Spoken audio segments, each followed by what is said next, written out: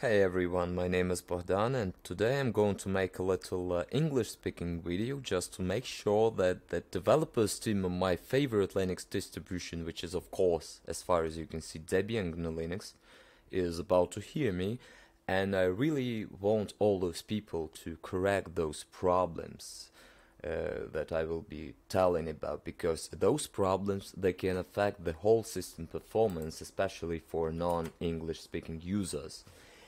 Okay, so to make a long story short, let's start from the very beginning.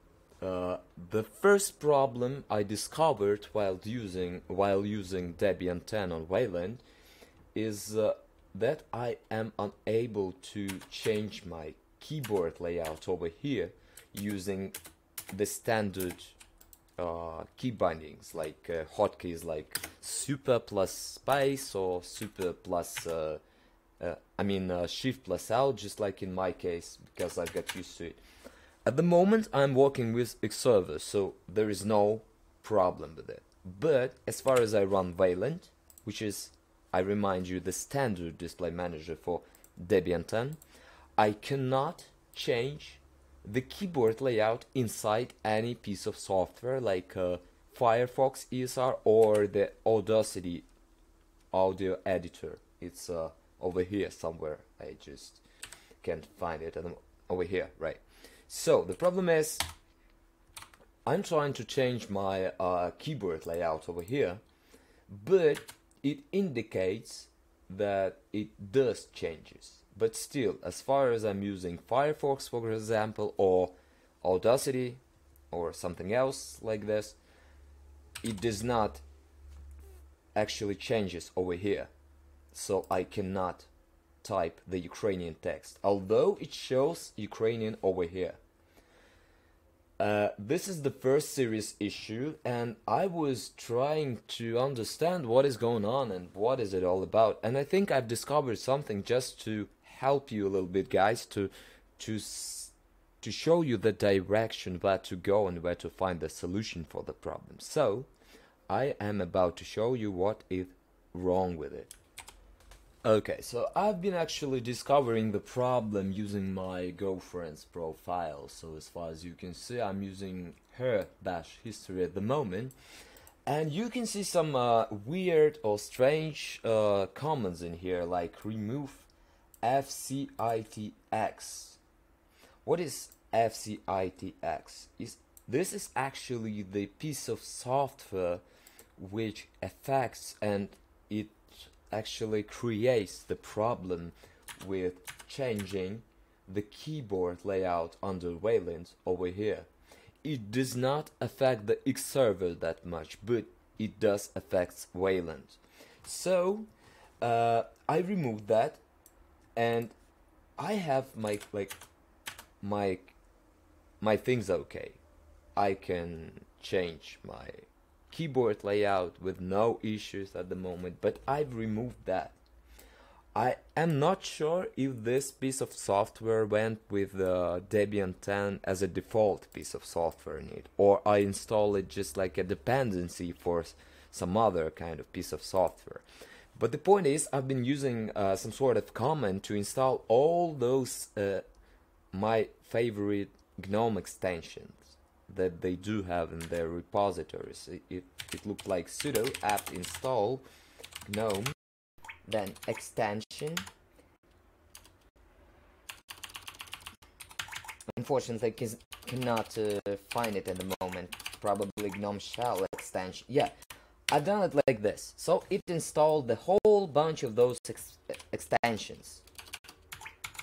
Let us see.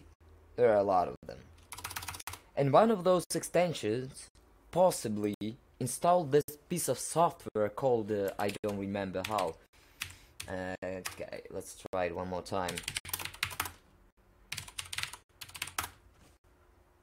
FCITX so this piece of software installed itself and made uh, some issues for me changing my language in here and uh, by the way, despite if I were using mouse or if I were using my hotkeys, it didn't affect the system. So I only had my English language in here.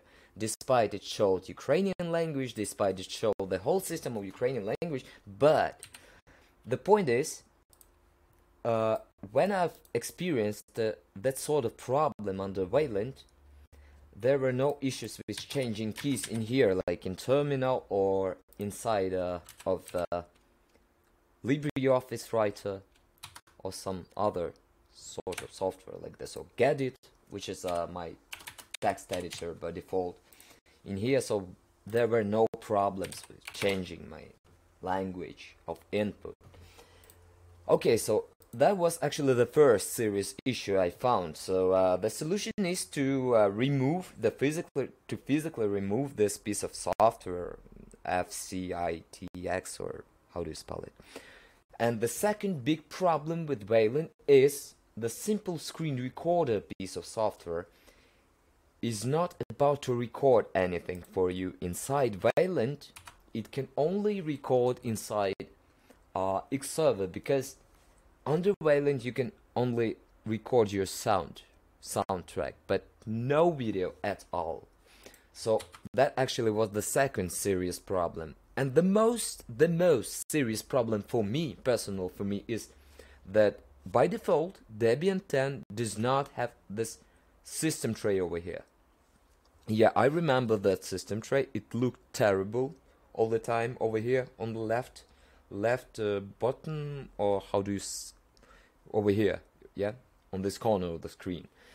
And they removed it. But the problem is there are a lot of different programs that need the system tray. For example, HPLIP stuff, or uh, the Dropbox stuff, or uh, simple screen recorder stuff. They all need the system tray because if you are about to start them without uh, using this extension for adding the system tray, they will crash. For example, HPLIP says there is no system tray detected in your system, so, so the program is about to close itself. And the same stuff with the other two programs that use a system tray in here. So after installing Debian 10, you have to install one more thing. You have to use your GNOME Tweak tool to enable enable one of those extensions. For example, I'm using this KStatusNotifier application. That's something like that. I cannot read it. Actually sorry for my mistakes. I don't speak English that well so it's uh, complicated for me. I didn't have practice for like 10 years or something. So actually uh, the variation number one is this improvement which can help you add um, the system tray over here on the top panel or there are some other ways for example for example for example top icons plus it does the same but over here. Fortunately cannot see it at the moment but it does. It actually works. Uh, mm, I think I've removed it. Something is going something weird is going on with all my uh, things. Okay. So I'll disable it for a moment. So okay there are a lot of extensions that can uh, actually solve your problem, yeah, and make things look fine for you. But still, this is Debian stable, the stable branch of my favorite distribution. And when is it? When it comes to Debian stable, uh, when I install the fresh system, I don't want to see those error messages from system tray. It looks strange, and if you are an OS user, it does not attract you at all. It looks like the system is like bad or something.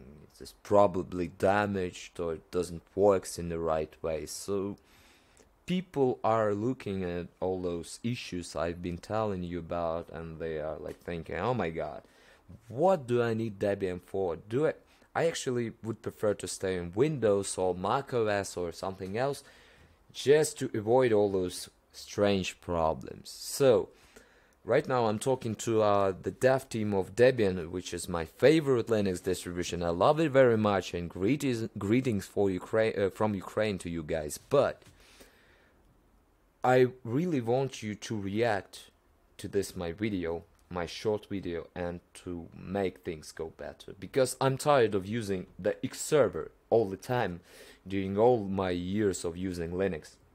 I want to move to Wayland but I can't because of this strange issues over here and with a simple screen recorded piece of software. Uh, okay, so uh, I think uh, this video was useful for someone, I hope so. So subscribe to my channel, press the bell button and the like button if you liked it, and press the dislike button if you didn't like it at all. And you can also comment my stuff, so I'll be grateful for you. And see you in the next videos. Thank you for your attention, especially for the dev team of Debian. Good luck, guys.